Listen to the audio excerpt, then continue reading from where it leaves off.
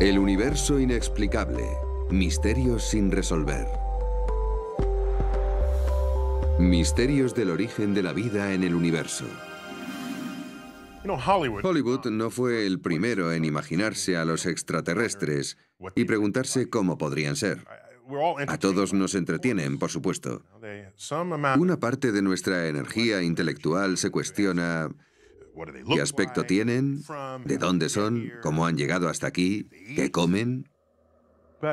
Pero ellos no han sido los primeros. Ha sido uno de los pasatiempos favoritos del hombre desde hace muchos siglos. De hecho, para ver un ejemplo, vamos a echar la vista atrás hasta el siglo XVII con el brillante científico Christian Huygens, un físico, astrónomo, matemático y filósofo holandés, un hombre renacentista. Y entre los logros de su carrera está la invención del reloj de péndulo. Alguien tenía que hacerlo. Pero no solo eso, él fue el primero en estudiar los anillos de Saturno a través de un telescopio hasta el punto de identificarlos como anillos. Antes de Huygens, la gente solo veía unas manchas de luz alrededor del globo de Saturno sin saber identificar lo que veía. Esos son solo dos elementos clave en su extensísimo currículum. Bien, a finales del siglo XVII, la física de Newton estaba echando raíces.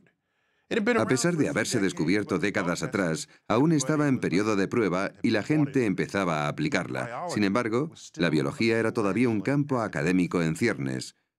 En su gran obra de finales del siglo XVII, Los mundos celestiales descubiertos, de 1696, Huygens hizo una analogía entre Júpiter y la Tierra. En dicha analogía, afirmaba que obviamente Júpiter tiene una atmósfera al igual que la Tierra. Y si había una atmósfera, entonces quizás también habría un clima. Y si hay un clima, entonces habrá lluvia. Y si hay lluvia, habrá océanos. Y si hay océanos, surge la cuestión de qué querrá hacer la vida con esos océanos. Si vivieras en Júpiter, querrías moverte de algún modo. ¿Cómo lo harías? ¿Tendrías barcos? Por supuesto. ¿Y cómo navegarías? Pues con velas. ¿Y cómo controlarías esas velas? Necesitarías algún mecanismo para hacerlo. Necesitarías cuerda. Si ya tienes la cuerda, ¿de qué material estaría hecha? De modo que de toda esta línea de razonamiento dedujo que cualquier forma de vida que hubiera en Júpiter nacería del cáñamo. Interesante, pero demuestra la enorme importancia que damos a cómo podría ser la vida en otros lugares, y en esa teoría se da en realidad un prejuicio cultural que casi no podemos evitar, porque lo único que sabemos es sobre nosotros mismos cuando pensamos en otra vida en el universo. Y ese prejuicio cultural se sirve de nuestros propios valores y tecnologías para deducir qué formas pueden tener los demás de desplazarse. Y no solo esto. Si nos fijamos en el capítulo inicial de Los mundos celestiales descubiertos, vemos que es una celebración de la física newtoniana. Se completa con las bien entendidas órbitas planetarias. Habla del tamaño de las órbitas, sus formas. Habla de cuán brillantes son los planetas. Y además emite sus propias valoraciones sobre lo rocosos que pueden llegar a ser. Y no solo eso, sino que el libro tiene una tabla plegable que muestra la disposición de todo el sistema solar. Y en dicho capítulo, por cierto, no hay ninguna mención a Dios. A pesar de que solo un siglo antes, las leyes de la física de Newton, su teoría sobre la gravedad en el movimiento, todavía no se había inventado, todavía no había sido descubierta, de modo que las órbitas planetarias aún eran un misterio en aquel entonces. Pero aquí, donde no hay ningún misterio para Huygens, no hay mención de Dios. Pero en cambio, cuando se plantea la vida en el sistema solar, plantea preguntas que no puede responder. Además, enumera los misterios biológicos de la época, tales como la complejidad de los orígenes de la vida. Bien. Algo está claro. Y es que la física del siglo XVII estaba más avanzada que la biología del siglo XVII, y por eso Huygens solo invoca la mano de Dios cuando el misterio prevalece. Supongo que nadie negará que hay algo más de artificio, algo más de milagro en la producción y crecimiento de las plantas y animales que en montones de cuerpos inanimados. por el dedo de Dios y la sabiduría de la divina providencia, es por ello mucho más claro manifestado que en los otros. Creo que la lección aquí es que sí. Siempre vamos a enfrentarnos a misterios. Siempre. En este caso en particular, se imagina cómo sería la vida en otros lugares, le gustaba mucho viajar, y cuál era la manera de viajar por el mundo en el siglo XVII, recorrer grandes distancias en un barco, un velero. Así que se imaginaba a los extraterrestres en sus barquitos de vela. Hoy en día, ¿Cómo nos imaginamos a los alienígenas? Ya no vienen navegando, sino en sus naves espaciales, porque hoy tenemos naves espaciales. Lo que nos lleva a preguntarnos si dentro de unos siglos, con los nuevos aspectos de nuestra cultura y nuestra civilización, estaremos aplicando esas novedades al transporte de los extraterrestres del futuro. Orígenes. La pregunta más difícil que se puede plantear en una investigación científica es ¿cuál es el origen de una cosa? Y es un reto, se involucre o no la vida en dicha cuestión. Y es por una razón obvia. Prácticamente todo lo que hemos estudiado en la vida ya existía. Así que se puede estudiar su pasado y observar su presente. Y tal vez extrapolarlo a su futuro. De ese modo, se construye una línea de tiempo de su vida. Así es como se hace. Pero ¿cómo empezó todo? ¿Qué pasó al principio? ¿Qué pasa con la transición entre lo existente y no existente? En el universo, el conocimiento del nacimiento de nuestro Sol normalmente sería completamente inaccesible, porque ¿cómo vamos a remontarnos hasta esa época? No podemos. Afortunadamente, existen miles de millones de estrellas en nuestra galaxia, en todas las fases de la vida y la muerte. Así que podemos utilizarlas como representación de nuestros pensamientos sobre el Sol. Podemos deducir cómo nació el Sol, y podemos deducir cómo nacieron los planetas que lo rodean observando cuidadosamente las enormes nubes de gas y polvo que hay en nuestra propia galaxia. Esto requiere telescopios especiales, por supuesto, no solo para ver la superficie de las nubes, sino mediante longitudes de onda de la luz para cavar más profundo y ver dónde está toda la acción. Pero con la vida en la Tierra, por lo que sabemos, solo hubo una génesis. Y si solo hubo una, no hay manera de comparar otras formas de vida que nacieran por separado de la nuestra, que tengan diferentes orígenes. Regresemos entonces. Vamos a imaginar que en algún momento hubo una conversión de moléculas orgánicas inanimadas en las que se incluyen elementos tales como el carbono, el hidrógeno, el oxígeno y el nitrógeno. Estos son los elementos tradicionales de lo que llamamos la química orgánica. En algún punto, hubo una transición de moléculas inorgánicas a seres animados que se reproducen. Eso debió de suceder hace unos 4.000 millones de años. Y esa transición, hoy en día, sigue siendo inaccesible para nosotros y, por lo tanto, sigue siendo un misterio. Debido a esto, cuestiona en gran medida nuestros esfuerzos por duplicar ese fenómeno en el laboratorio. No vemos cómo ocurre, podría ser, pero no lo vemos en ninguna otra parte. Ahora, el árbol de la vida moderna tiene un nivel de profundidad y complejidad que Darwin, e incluso quizás los profesores de biología de tus padres, ni siquiera reconocían. Por lo que sabemos, gracias a nuestras mediciones, toda la vida en la Tierra tiene una herencia genética común. A eso nos referimos con el árbol de la vida. Todos salimos de una rama y conforme retrocedemos en el tiempo, hay cada vez menos ramas y se llega a un punto en el que solo hay una rama. Un ejemplo sencillo, si excavas lo suficiente atrás en el tiempo, encontrarás el ancestro que comparten dos personas en la Tierra, su pariente común. Excava lo suficientemente lejos en el árbol de la vida y encontrarás el ancestro común a dos especies de la Tierra. No importa cuáles sean, se puede encontrar. ¿Qué hay de los seres humanos y los chimpancés? Eso es pasado reciente. ¿Y los humanos y los peces de colores? Hay que irse un poco más atrás. ¿Y los humanos y las setas? ¿O los humanos y las células de levadura? Hay un punto en el que se encuentra el nexo entre las dos ramas de la vida moderna. Así que, por lo que hemos sido capaces de determinar, ha habido una sola génesis en la Tierra.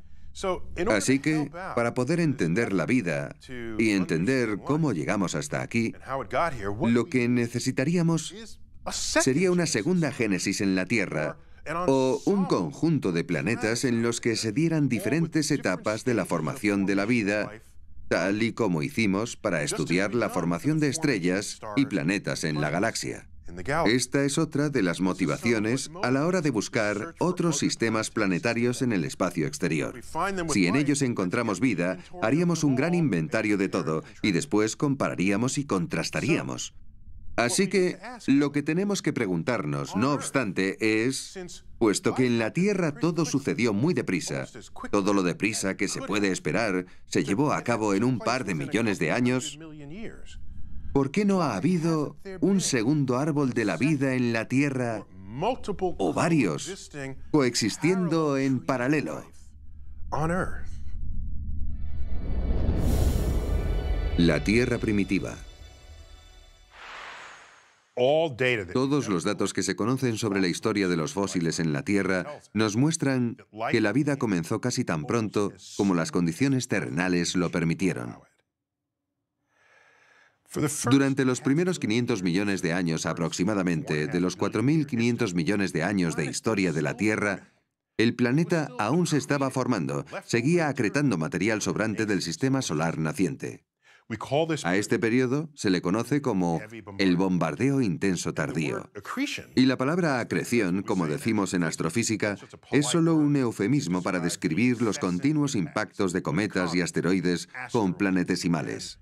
Es decir, planetas que aún no se han formado del todo, pero si chocan se desintegran y pasan a formar parte de ese material en lugar de otro planeta que podría haberse formado.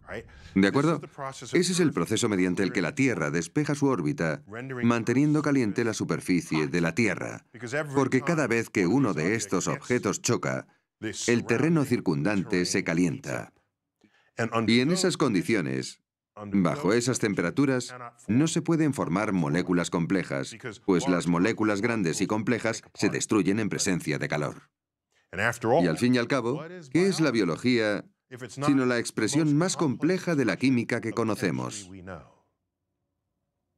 Bien, después del bombardeo intenso tardío, no hicieron falta más que 200 millones de años.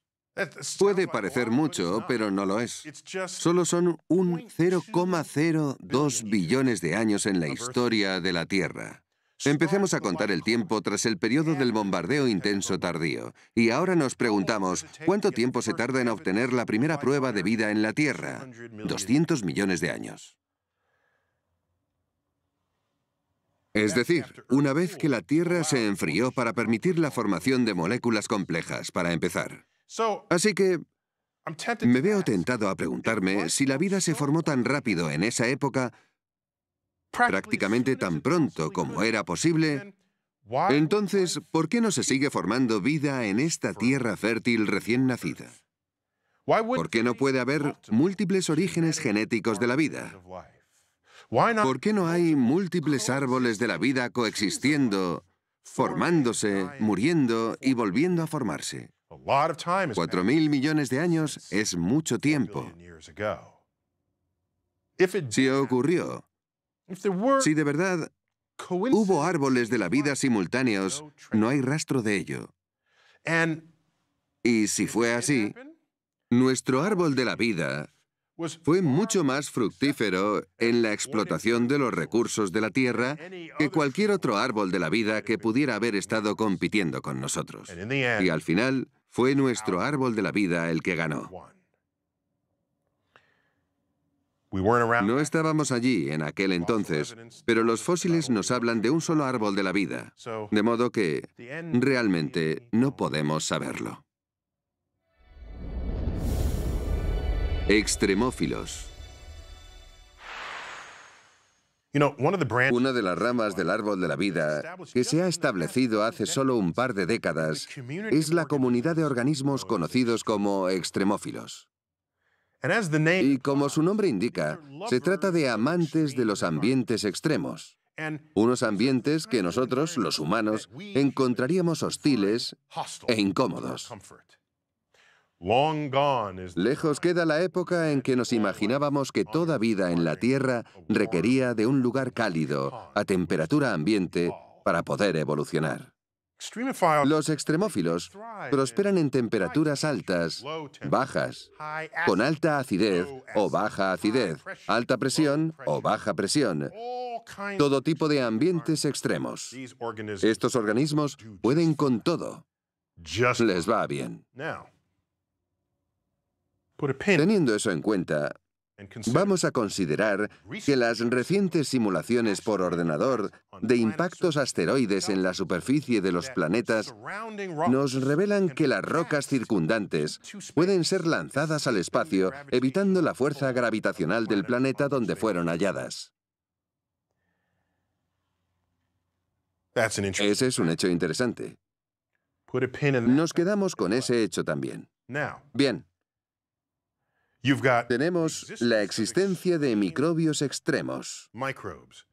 Los microbios que pueden prosperar en ambientes extremos. También tenemos rocas que pueden lanzarse al espacio interplanetario lo que les permitiría algún día aterrizar en otros planetas con el tiempo debido. Los cálculos muestran que, por ejemplo, rocas de Marte han llegado hasta la Tierra, rocas de la Tierra han ido a parar a la Luna y a Marte, y así sucesivamente por todo el sistema solar. Ahora, hay pruebas que demuestran que hubo agua líquida en el Marte primitivo. Pruebas verídicas. Pero Marte está completamente seco hoy. Pero miremos las características de su superficie. Hay cauces secos que serpentean. Y hay llanuras aluviales y lechos de lagos. Todo completamente seco hoy. Seco como una pasa. Algo malo sucede en Marte. No sabemos qué, pero algo malo. En su día, sin embargo, suponemos que Marte fue todo un oasis. Por lo tanto, puede ser cierto que Marte fue húmedo y fértil mucho antes de lo que lo fue la Tierra. De ser así, quizás cabe la posibilidad de que hubiera bacterias polizones en Marte escondiéndose en los rincones y grietas de las rocas que salieron disparadas al espacio. Algunas de esas rocas pudieron haber hecho el viaje desde Marte a la Tierra. Supongamos que tenía una gran diversidad de microbios, microbios de los que les gustan los entornos cálidos, así como microbios que pueden prosperar en condiciones adversas. Entonces, solo aquellos microbios que sobrevivieron al frío, la sequía, la radiación intensa del espacio, habrían sobrevivido, otorgando vida a la Tierra primitiva, otorgando a la Tierra primitiva los extremófilos. Esto se conoce como panspermia. Y ello implica, si es cierto, que toda la vida de la Tierra desciende de los marcianos. Iralidad de la vida. Todo esto nos lleva a un par de preguntas interesantes, en mi opinión. Supongamos que encontramos vida en Marte y se basa en un ADN. Podrían darse dos posibilidades. O bien que la vida allí tenga ADN en común con la vida en la Tierra. Esa es la prueba irrefutable de que somos descendientes de los marcianos. Pero supongamos que tiene ADN y no hay un código genético en común. Eso nos revelaría que el ADN puede ser una molécula fundamental de la vida. Y si quisiéramos encontrar vida en cualquier otro sitio, tendría que ser basándonos en el ADN. Su ADN no tendría nada en común con el nuestro, puesto que no han evolucionado conjuntamente aquí. Así que, lo que sería más interesante, creo yo, sería ir a Marte y descubrir que hay vida, pero que esa vida ni siquiera está basada en el ADN. Ese sería un resultado mucho más interesante para mí, puesto que nos revelaría otra manera que tuvo la naturaleza de crear vida. Y nos diría que la vida, de hecho, no requiere de ADN. Encontró otra manera de codificar la identidad, de averiguar cómo hacer que una criatura sea diferente a otra. Si tenemos todo esto en cuenta y cavamos más profundo, lo que encontramos es que la vida en la Tierra no es sencilla. ¿Se basa en el ADN o no? Por supuesto que sí. Pero hay otro aspecto que también es cierto, del que casi nunca se habla, y es el hecho de que las moléculas complejas, casi todas ellas, tienen una especie de mano dominante. No son la misma a un lado del espejo y al otro, y sin embargo, son químicamente idénticas.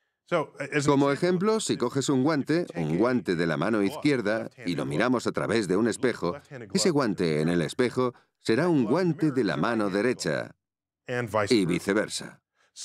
Por lo tanto, es posible tener un producto químico que es idéntico a otro producto químico en la teoría. Pero si lo estudiamos bien, veremos que es diferente en el espejo a lo que tú ves a este lado del espejo. Un ejemplo muy famoso, mi ejemplo favorito, es el de la molécula que da el sabor que obtenemos de la hierbabuena. Si escribimos la fórmula, es idéntica a la del sabor del comino, mismo número de átomos en la misma secuencia. Pero uno de ellos tiene la orientación de la mano izquierda y el otro el de la diestra, y nuestras papilas gustativas distinguen los dos sabores. Y por supuesto, el sabor de la hierbabuena y el comino no tiene nada que ver. No hay relación entre uno y el otro. Sin embargo, es la misma molécula. Resulta que la vida es abrumadoramente zurda las moléculas orgánicas están en los meteoritos, porque de hecho las moléculas orgánicas se pueden formar en el espacio interestelar, en el espacio intergaláctico y en el espacio interplanetario. Estas moléculas son perceptibles por todo el universo. Cuando encontramos moléculas orgánicas en los meteoritos y nos preguntamos cuántas de ellas serán zurdas y cuántas de ellas diestras, la respuesta es 50-50. Sin embargo, esas mismas moléculas, cuando nos fijamos en ellas en la vida en la Tierra y nos inclinamos por las que son zurdas o diestras, el 100% de ellas serán zurdas. Lo cual te hace plantearte, ¿habrá otro planeta ahí fuera como el nuestro, salvo porque allí sus moléculas son diestras? Es una pregunta muy interesante.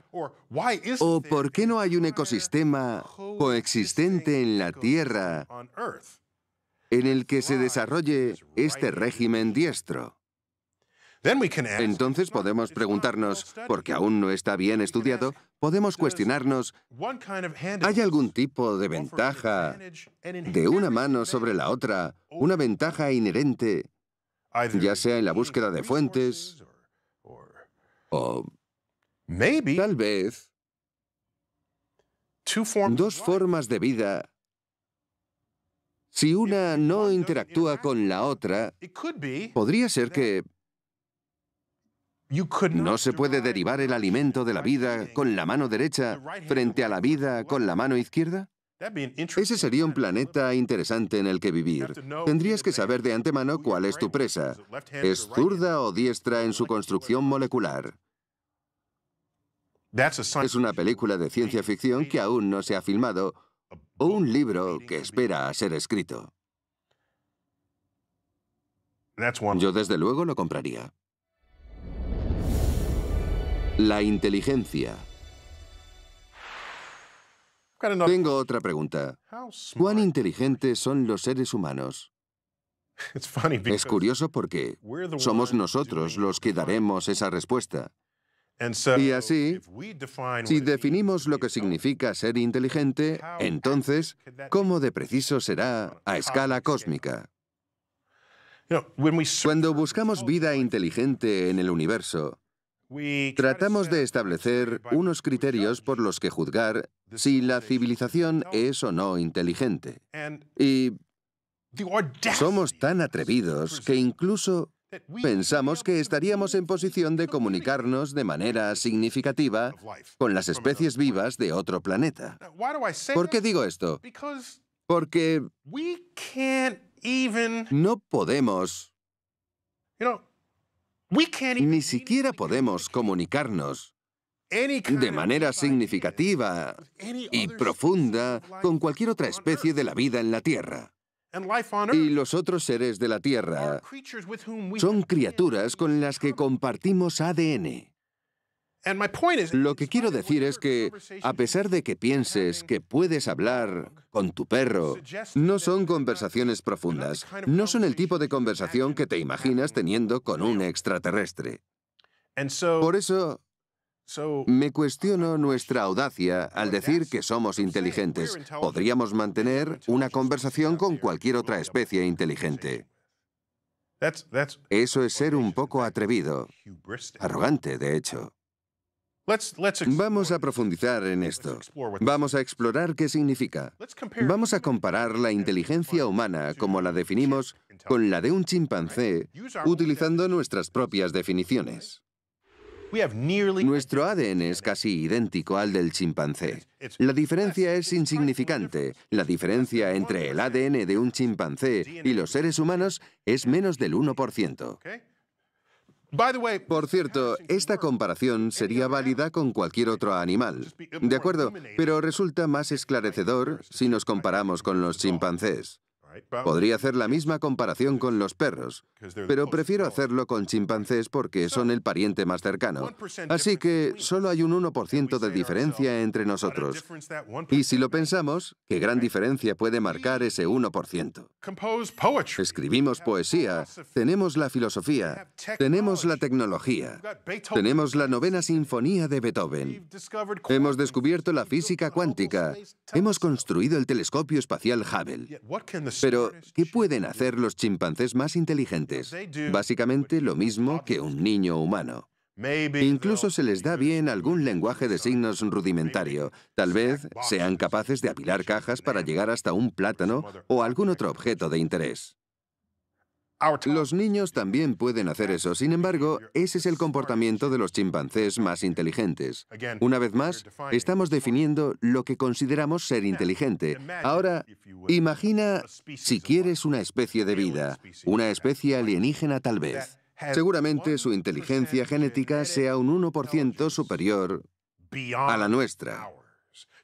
Así como nuestra inteligencia es un 1% genéticamente superior a la del chimpancé. Hmm. ¿Qué les pareceríamos a ellos? Sinceramente, creo que nos vería como idiotas con babas. ¿Es así? De darse el caso, entonces, el más inteligente de los humanos sería capaz de hacer lo mismo que sus niños. Imagínate sus investigaciones de los humanos, analizando a Stephen Hawking y comentando, mira, sabe hacer cálculos de astrofísica de cabeza, lo mismo que nuestro pequeño Timmy en preescolar. Probablemente es lo que dirían sobre nosotros porque eso es lo que decimos nosotros acerca de los chimpancés. Podemos seguir por ahí. Imagina a sus niños en edad preescolar. Traerían a casa sus óperas recién compuestas para colocarlas en la puerta de la nevera y nosotros, en cambio, ¿qué traemos a casa? Collage hechos de pasta. Sus preescolares llevarán a casa derivaciones de cálculo en lugar de dibujos pintados con los dedos. ¿Nos considerarían inteligentes esas especies? ¿Nos esclavizarían y nos meterían en un zoológico? ¿Nos daríamos cuenta siquiera si lo hicieran?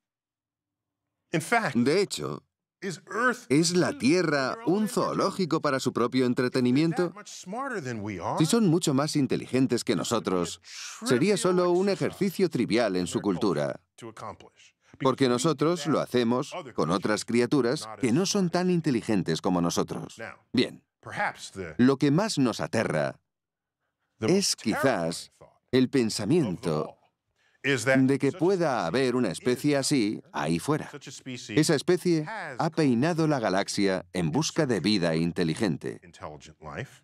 Esa especie ha visitado la Tierra, ha observado nuestra forma de actuar, nuestra cultura, y llegó a la conclusión, en base a todos los datos que recopiló sobre nosotros, los que vivimos en la Tierra, que aquí no hay ninguna señal de vida inteligente.